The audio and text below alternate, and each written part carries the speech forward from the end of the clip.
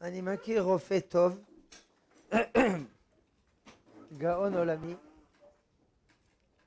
שעזר להרבה אנשים, דוקטור אמיל דרה, מי שצריך, תן לו מספר טלפון. הרבה מקרים אבודים הוא הצליח,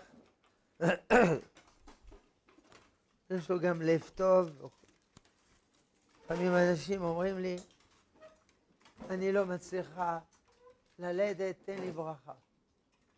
אני נותן ברכה, פלוס מספר טלפון. מה מועיל יותר? הברכה. הברכה שלי זה מספר הטלפון. זה ברכה ממשית. טוב. איך אנחנו יודעים שלא תהיה עוד גלות? זה מהשאלות שהכינו לשבת ולא סיימנו.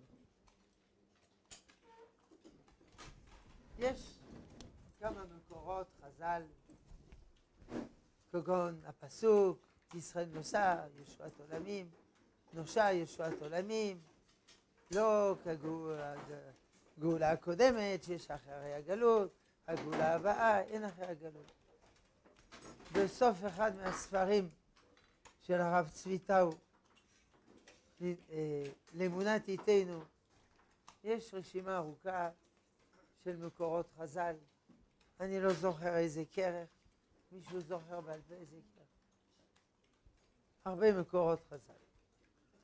אבל האמת שאנחנו לא צריכים. כי חז"ל אף פעם לא אמרו שאחרי הגאולה תהיה גלות. הם דיברו גאולה, גאולה, גאולה, גאולה, הרבה הרבה, ולא אמרו שיכולה להיות גלות אחר כך. אז נגמר הנושא. אי אפשר להמציא דברים שחז"ל לא אמרו. חז"ל אמרו שכשהקץ המגולה, אין לך קץ מגולה מזה. זה גם עונה לשאלה, אנשים שואלים, איך נדע מתי גאולה? מה זה איך נדע? חז"ל אמרו, הקץ המגולה זה הקץ המגולה. אם אתה לא מאמין לדבריהם, אז אתה קראי. אגב, יש הרבה רבנים חרדים שאומרים שעכשיו זה הקץ המגולה, או התחלתא דגאולה. הם נגד המדינה, בגלל החסרונות שיש במדינה, אבל הם אומרים זה התחלתא דגאולה. בספר אה, התקופה הגדולה של הרב מנחם כשר, הוא מביא בפנים כרוז של רבנים, חתומים 100, 200 רבנים, על ענייני מפלגה דתית וזה, ומוזכר בפנים התחלתא דגאולה, והם חתומים. גם נפטר לפני כמה ימים הרב לב, לב מינסברג, רב חרדי, ראש ישיבת המתמידים. נפטר יום א' או משהו כזה.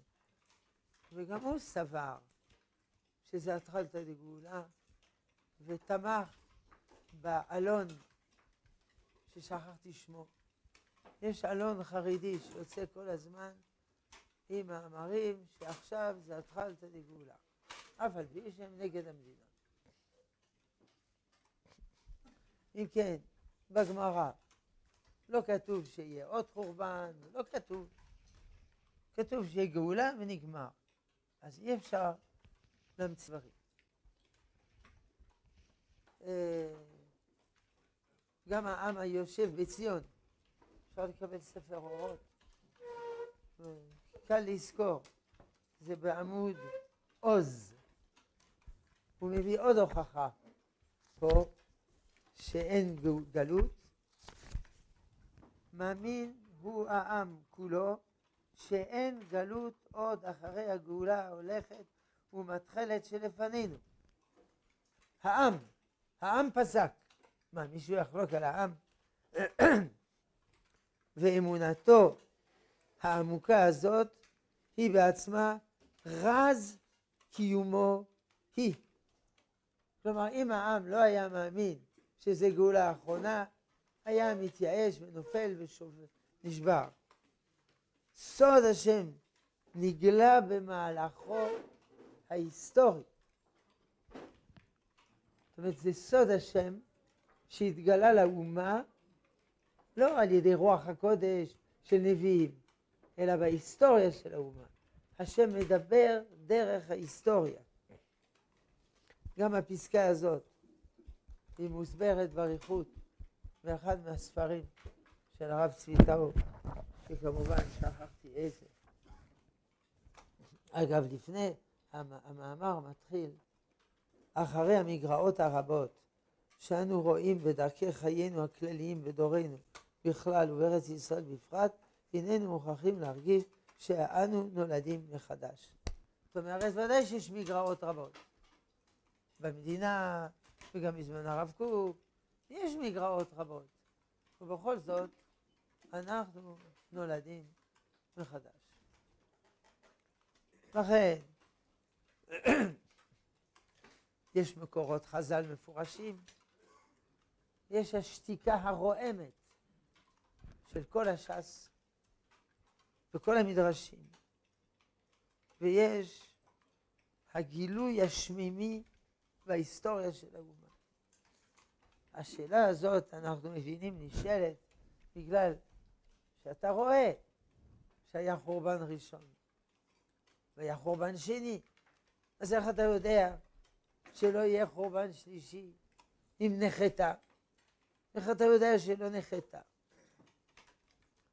אותה שאלה אתה יכול לשאול על הבטחה אלוקית שלא יהיה מבול. למה שלא יהיה מבול?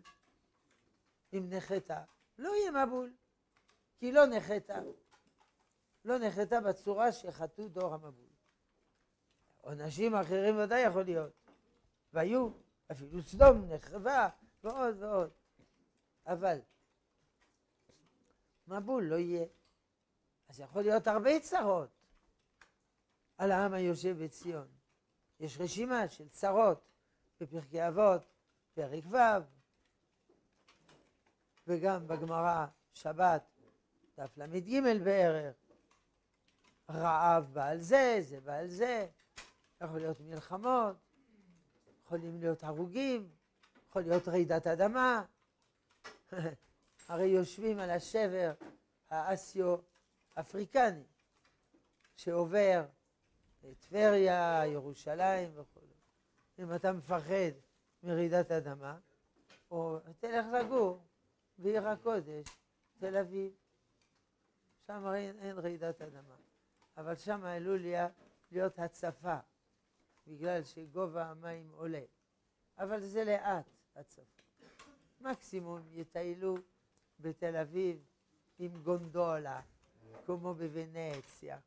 ברחובות יהיה ממש נחמד. אבל רעידת האדמה לא יהיה בתל אביב. יכול להיות הרבה צרות, אבל לא גלות. אבל עובדה שהיה גלות ראשונה ושנייה. ובאמת, כשהנביאים מנבאים על גאולה, יש מחלוקות בין המפרשים. האם הם מדברים על הגאולה הראשונה או על השנייה. למשל, זה ברור שהנבואות של ישעיהו מדברות על הופעת עם ישראל בגדולה, בגבורה אדירה. זה לא על גאולת בית שני, כי שם כתוב היהודים העמללים האלה. זאת הייתה גאולה אומללה, ולא על זה הוא מדבר. אז יש הראשונים שהנביאים מדברים על גאולה ראשונה, יש שמדברים על גאולה שנייה, יש, יש מחלוקת על מה הם מדברים.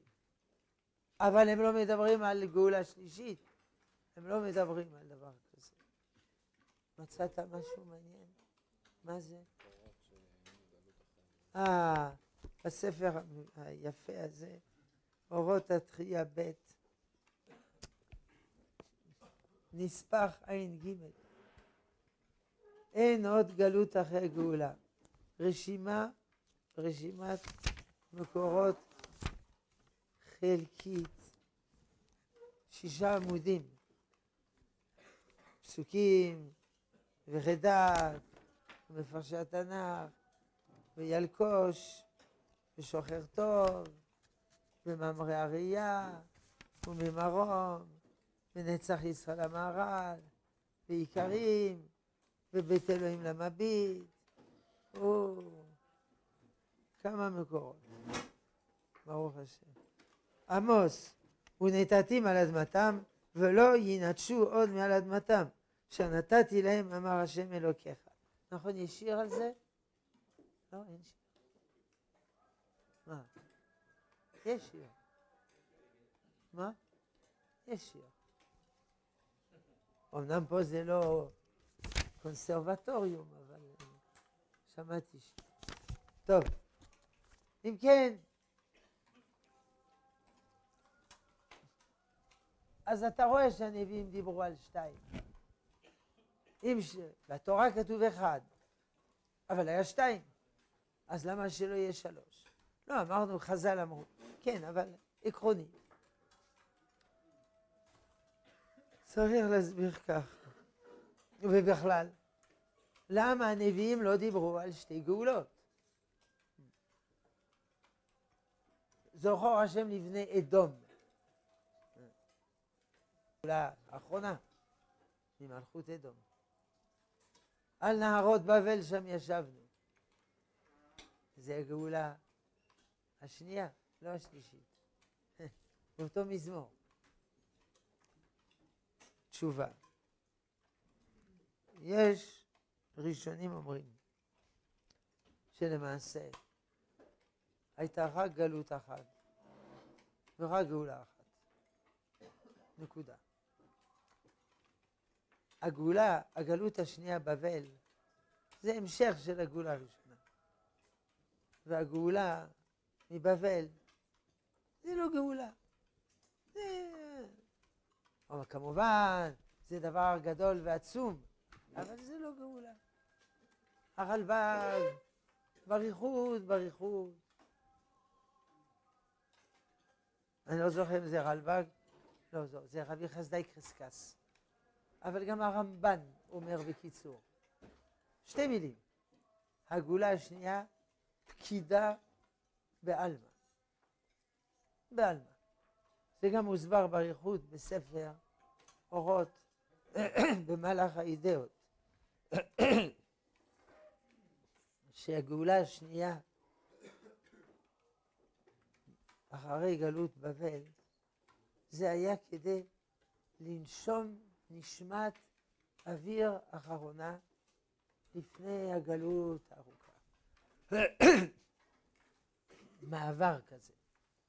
אדוני, אתה נעצר, תנו לי עשר דקות להגיד שלום לאשתי, לקחת אה, בגדים, ציוד וכו'.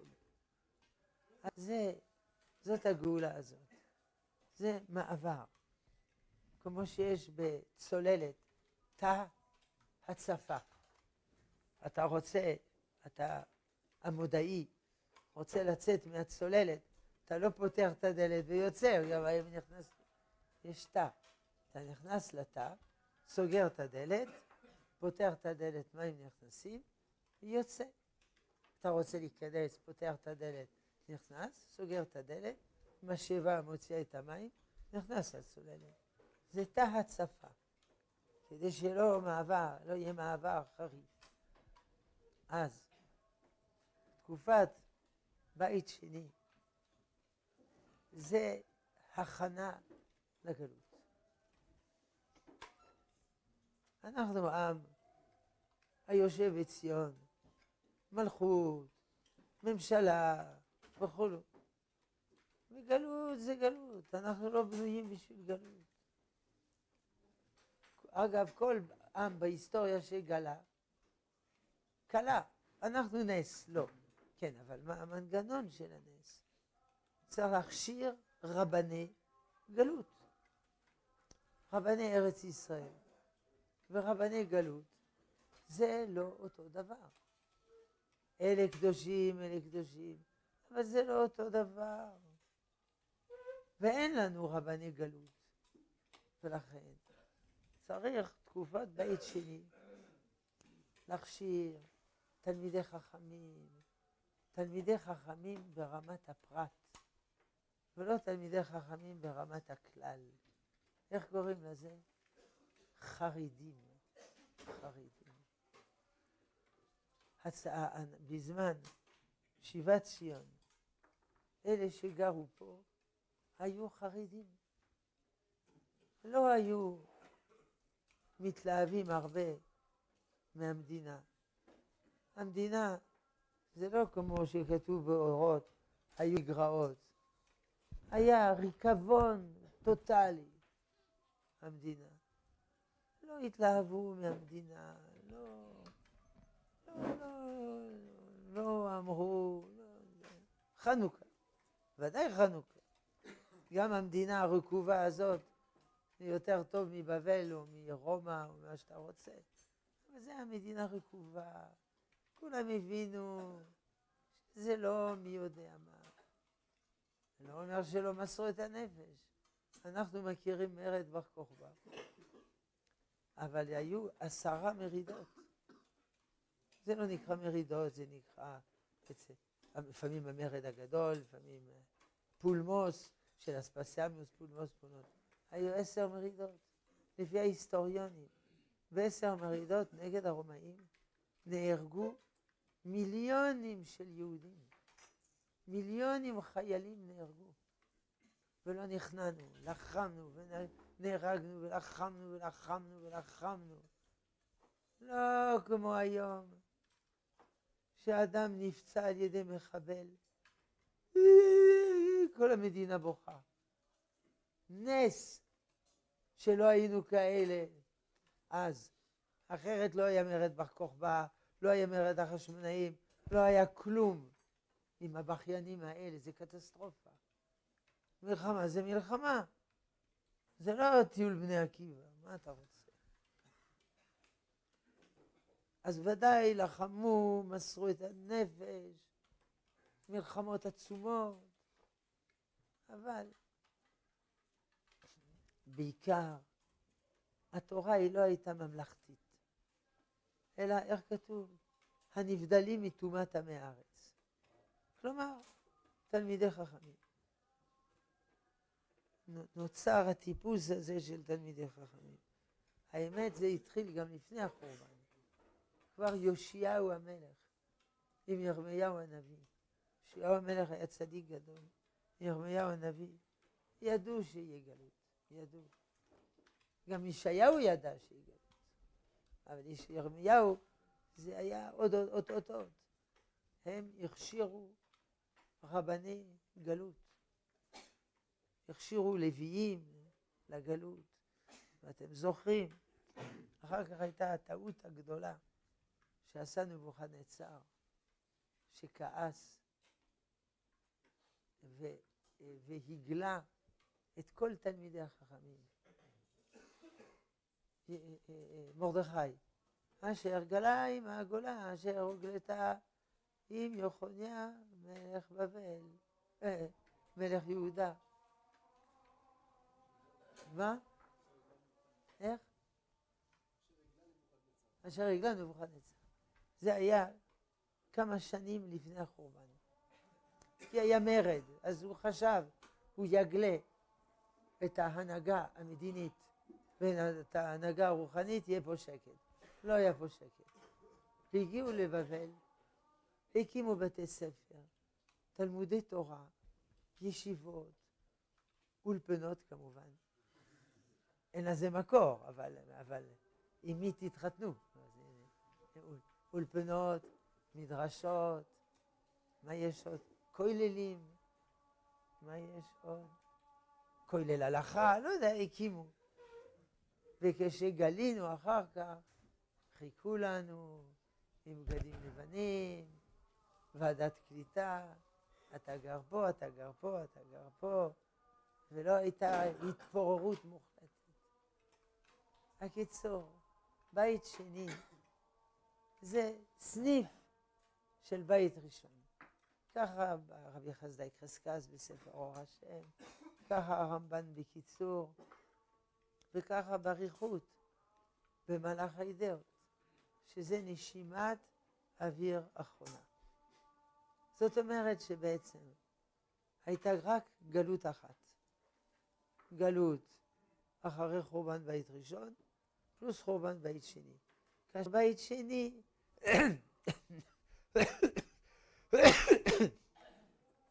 זה היה פסק זמן, חסד אלוקי, שנוכל להתארגן וכו'. מי רצה לשאול?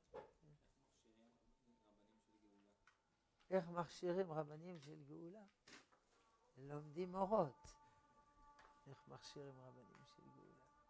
לומדים אורות. אתה אומר כי אין היום יאשיהו וירמיהו. הרבנים של גאולה התחילו גם בגלות.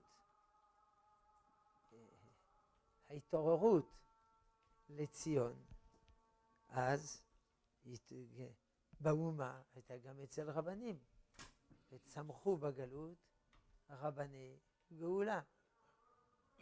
המפורסמים, הרב צביר שקלישר, הרב אליהו גוטמכר, הרב מוליבר, הרב ריינס, הרב ריינס שייסד את המזרחי, ואחר כך היו עוד הרבה. הרב קוק, עוד, זה יותר מאוחר כל זה. וצמחו, העריכו שהנה, אה, זה. יש אומרים הגר"א, שכל זה בנוי בדברי הגר"א. כבר הגר"א ידע, כפי שרואים בספר כל התור, שזה הכנה לגאולה. ורואים תלמידי הגר"א בארץ, שכתבו שלושה, שלושה ספרים, יסוד המוסר, המוסד, חזון ציון ו... ודורש ציון. שלושה ספרים של תלמידי הגר"א שהיו בו, רואים, אז הקדוש ברוך הוא לא עזב את עמו. וזה, כל מה שאמרתי פה, זה רבנים אשכנזים. רבנים ספרדים היו כולם רבני גאולה. כולם. בלי יוצא מן הכלל. יש הרב חלפון הכהן, יש לו עוד שם. מה? הרב משה חלפון הכהן, הוא היה עושה בג'רבה יום העצמאות שלושה ימים. מה זה פה אשכנזים יום אחד? שלושה ימים יום עצמאות וכולו. הרבה, 99 אחוז מהרבנים הספרדים היו כולם רבני גאולה. חוץ מכמה, כמו הרב אלפנדרי, שהיה מאוד מאוד חרדי, קיצוני, אבל ככה זה היה טבעי אצל הספרדים. זה טעות, מה שהפכו במפלגת ש"ס את הספרדים לחרדים. הם לא נעשו חרדים, הם נעשו מבולבלים. אפשר להפוך אשכנזים לחרדים, לא ציונים. זה מסורות של דורות. אבל אה, להפוך ספרדים, זה טעות הדבר. זה, זה לא נדבק, זה לא, זה לא הולך, זה, זה מצלצל אה, משהו מזויף. והנוער הספרדי, ש"ס, הוא לא, הוא גם הוא לא יודע מה רוצים מהחיים שלו. זה היה טעות הדבר הזה. אבל זה לא הנושא שלנו. אבל זה באופן טבעי. הספרדים היו ציונים, והרבנים הספרדים היו ציונים באופן טבעי. על מה דיברנו? אה, הוא שאל איך מייצרים רבני גאולה. כן, מה זה הנושא הראשון? הנה, הוא רב גלותי. אנחנו מדברים על כלל ישראל וזה, הוא מדבר עם תינוק פרטי. טוב, בסדר. הוא ספרדי, אז סולחים לו.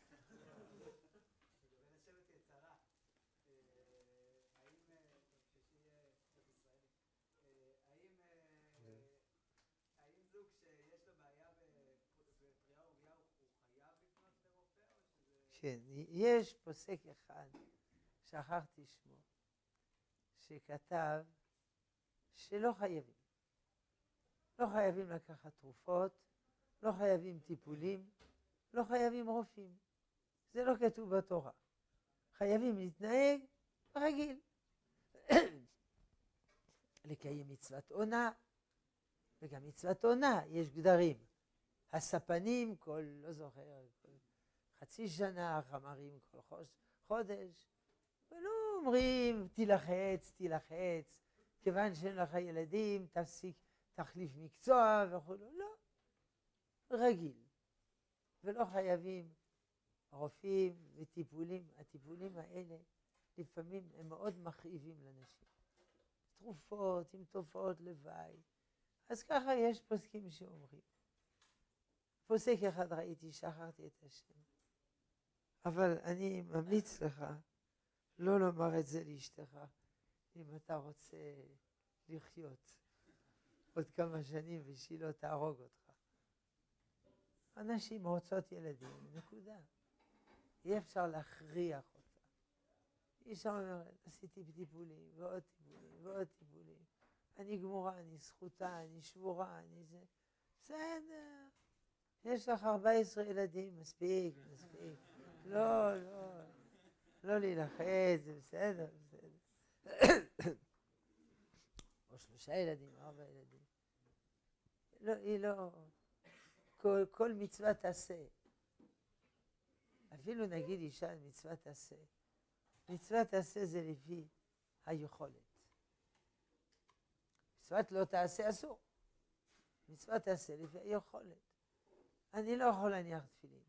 למה? יש לי פה שרוף. כואב, כואב. הוא לא יכול. הוא אנוס. לא כמו היום שעושים כל העבירות בטענת אנוס. לא, רציני וזה. הוא לא יכול, באמת לא יכול. לך לבית הכנסת. אני לא יכול, יש לי שפעת, אני במיטה, ויש שלג. וכבר אנשים שואלים אותי, אם יש גשם, האם צריך להתפלל במניין? איזה רטוב הבן איזה... בבית אלוקים נלך ברגש. ברד, רוח, גשם, שלג. נו באמת. אבל קשה לה מאוד לרדת מזה. עכשיו, יש סברה, מה שהוא אומר, שלא חייבים להשתגע, אבל זה לא הכל להשתגע. יש תשובה של הרב פיינשטיין. האם חייבים לעשות בדיקות טרום לידה? הוא אומר כן, אבל למה? למה אני חייב לעשות בדיקות וכו'? כיוון שבדיקת טרום לידה, לא, לא טרום לידה, טרום נישואין, אה, איך זה נקרא? גנטיות טרום נישואין, דור ישרים. כיוון שזה לוקח חצי דקה, עושים לך אי, היי, חצי דקה, ואתה לא עושה את זה, זה כאילו אתה עוצם את עיניך. כאילו הרופא מביא לך שיש לך... מסתכל כיוון אחר. על זה לא נקרא. אז אם זה דבר כל כך קל, בדיקת טרום נישואין, ואתה לא עושה, אז אתה מחליט להיות עיוור. גם ללכת לרופא, זה לא משהו קשה. או גם הטיפולים, זה לא כל כך קשה. אם זה מאוד קשה, אז יש שאלה. אם לא, זה דבר של מה בכך. אתה צריך ללכת לרופא ולנסוע ולחכות. ולחופש לגולן אתה לא נוסע ולא מחכה לאוטובוס, לא באמת. לא, לא, לא, לא להגזים. לפעמים הטיפולים נמשכים ונמשכים וכואבים וכואבים, זה כבר שיקול אחר. וגם פעם אישה הייתה, מותר להשתמש באמצעי מניעה כדי להרחיק בין הלידות, ופעם, פעם לא ילדו הרבה, למה? א', מתו המון ילדים. היו מחלות ילדים, קטפו ילדים במדינות הטובות באירופה, שניים מתוך שלושה. במדינות הפחות, באפריקה, שישה מתוך שבעה. היו מתים ממחלות ילדים. והפלות, או, לא ספרו. מלא הפלות. אז באופן טבעי היה מרווח בין ילדים. עכשיו, עם הרפואה המודרנית, תיאורטית אפשר ללדת כל שנה. אבל, אבל זה בעיה, זה, זה, זה מכביד, נכון? פעם בכותל זוג, שאני לא מכיר, אפשר לשאול שאלה, כן. אנחנו מאורסים, מזל טוב. אבל אני לא, מה אתה לא? היא לא רוצה ללדת. את לא רוצה ללדת? ודאי אני רוצה ללדת. הוא רוצה שאני אלד ילד כל שנה. מה, אתה רוצה 30 ילדים? כן. אמרתי לו שלא חייבים. הכל לפי, הכי הרבה ילדים לפי היכולת של האימא. עכשיו יש רפואה מודרנית, תיאורטית אפשר ללדת כל שנה, אבל אישה לא יכולה לעמוד בזה. אמנם כתוב בגמרא שבת, עתידה אישה ללדת בכל יום, שנאמר הרע ויולדת יחדיו. באותו יום היא נכנסת להיריון, ובאותו יום היא יולדת. זה משל, לא אומר הרב קוק, זה לא משל. אז איך נפתור בעיות כלכליות? אל תדאג. מי שמסדר שאשתך תלד כל יום, הוא יסדר פרנסה.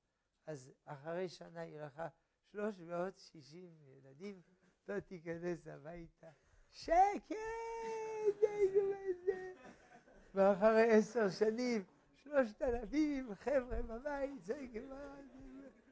ואיך איך תסתדר? אל תדאג. הקדוש ברוך הוא ידאג לדבר הזה.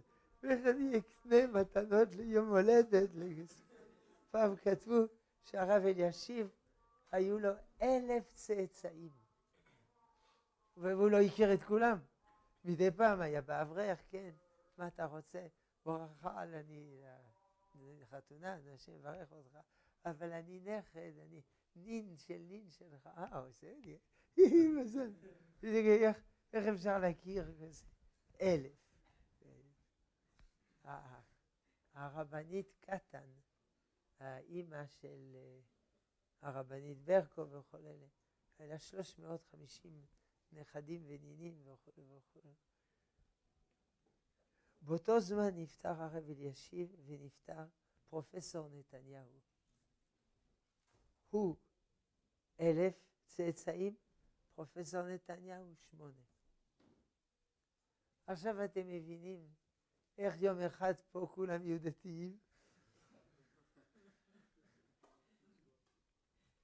לא צריך לעבוד קשה לשכנע. אני חושב עכשיו כבר כיתה א', הרוב זה דתיים. כי הדתיים יש להם הרבה ילדים, והם יוצאים לארץ, פחות עוזבים את הארץ. ברוך השם. אז יש חילוניים שנכנסים בלחץ. הם אומרים, הרי החילונים עובדים, והדתיים לא עובדים כל כך. זה קצת נכון. הם עובדים פחות. הם עובדים, אבל הם לא גאוני הכלכלה וזה וזה. אז מה יהיה? הקדוש ברוך הוא יפתור.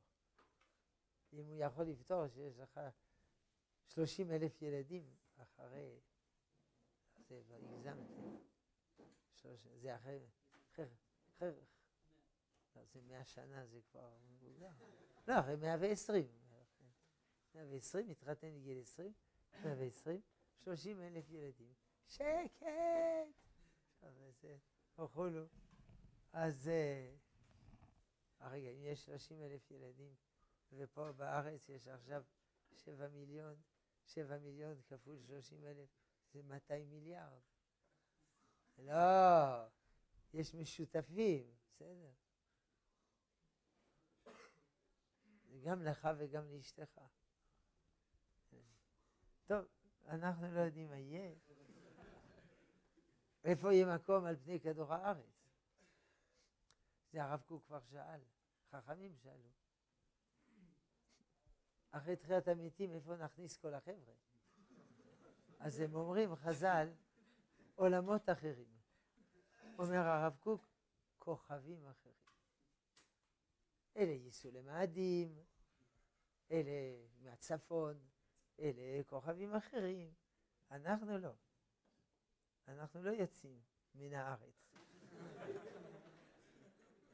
אפשר להרחיב את ארץ ישראל על ידי כיבוש. זה כן. אפשר לכבוש כל כדור הארץ, יהיה מקום, אבל אנחנו לא הולכים לכוכב מאדין. מתי שבת שם, מתי הולכים לירח, איך אתה עושה קידוש לבנה על הירח? איך אתה אומר, אה, איני יכול לנגוע בך? אז צריך לשנות את הנוסח, רפורמי. לא. כן, מי רצה לשאול? אה, איך ייכנסו בדנון?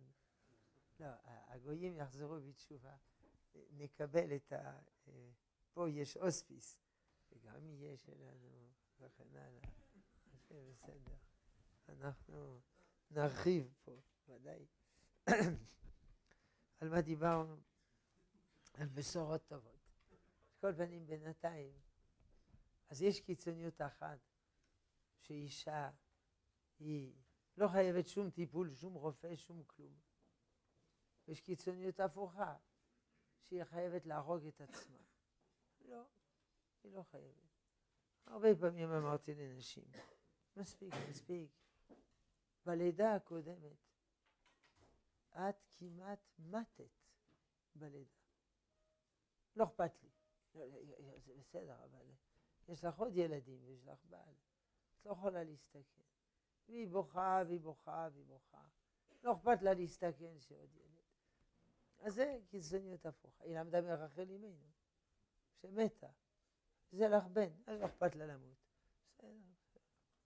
אז זה באמצע, לא טיפולים. על כל פנים הרופא הזה הוא גאון עולמי, מכיר שיטות של כל העולם. והרבה, לפני יומיים דיברתי עם אישה, מה, מה שלום הילד? בן ארבע. ובת כמה את? חמישים וארבע. בגיל חמישים הצליח שהיא תהיה בהיריון. והיא נשואה עם פרופסור לרפואה, שכשהצעתי את זה, הוא היה מאוד סקפטי, כי זה לא תלמיד ישיבה שיש לו אמונת חכמים, מכינים אותו, מכינים אותו בובקס, מאמין בכל. זה פרופסור לרפואה. הוא היה מאוד מאוד סקפטי, אבל בסוף היה ילד, והייתי בברית מילה, וזה, בגיל חמישים, שלא הצליחה ללדת. הקיצור, אז מי שלו בעיות וזה, אפשר לפנות אליו, יש רק בעיה אחת. הוא, כדי לטלפן אליו צריך לטלפן חמישים פעם, עד שהוא עונה. אבל בשביל ילד כדאי לטלפן גם חמישים מיליון פעם. זה גם שווה. טוב, מזל טוב. מזל.